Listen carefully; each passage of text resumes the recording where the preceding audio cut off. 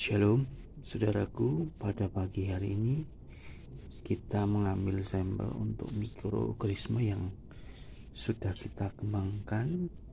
Ini kan ada uh, sistem kapilaritas ya. Ini kelihatan sekali mikroorganismenya sudah mulai uh, banyak.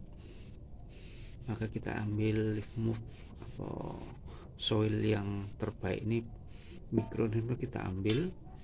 Nanti jadikan untuk starter untuk tanaman uh, tahunan ya seperti jeruk atau anggur atau batin atau delima atau yang lain-lain ya.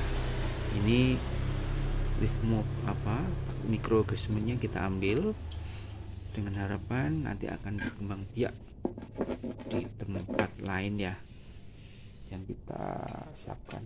Ini dulunya tidak seperti ini. Ini menimbul sendiri. Berarti ini ada tanda-tanda kehidupan mikroorganisme. Nah ini jadikan starter inokulasinya ya untuk uh, penyubur tanaman. Seperti untuk tanaman jeruk untuk anggur tin dan sebagainya ya. Uh, tanaman tahunan maupun tanaman semusim ya kita ambil di sini ya. Kita ambil.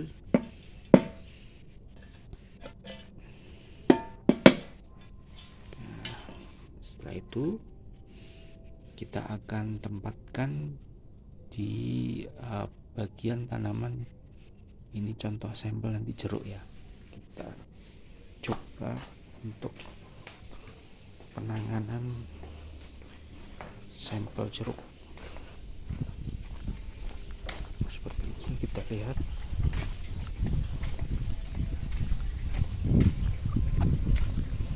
nah kita masukkan di sini.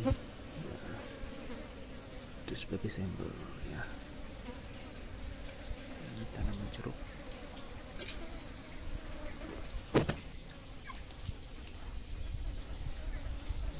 Ini potnya. Masukkan di sini. Biar berkembangnya mikroorganisme yang ada di dalam uh, pot atau planter bagnya oke okay. terus kita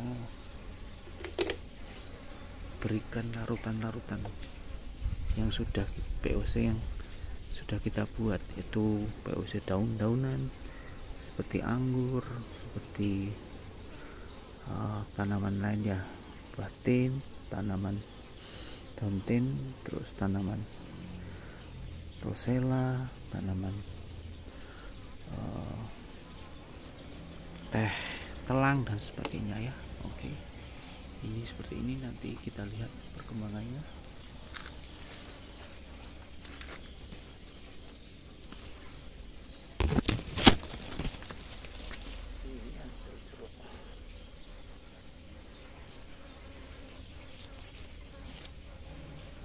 Oke, seperti ini untuk penanganannya.